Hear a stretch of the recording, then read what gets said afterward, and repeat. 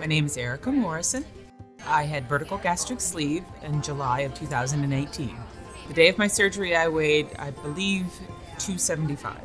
I wanted surgery for several years. Um, I had my children later in life and um, had to keep up with them. So, uh, for various reasons, for my health, for myself, for my children, so I can keep up with them for the next 20 years or so. Um, I wanted to get healthy, and I wanted to do it now while I still can, and I still had all of before I developed any further uh, health issues. I wanted to get healthy now. Um, well, I certainly work out on a regular basis, um, and uh, just keeping up with my children. And for, professionally, I'm a musician. I'm a classical singer, so my breath line is much, much improved, and my stamina to do roles and sing in public has um, vastly improved.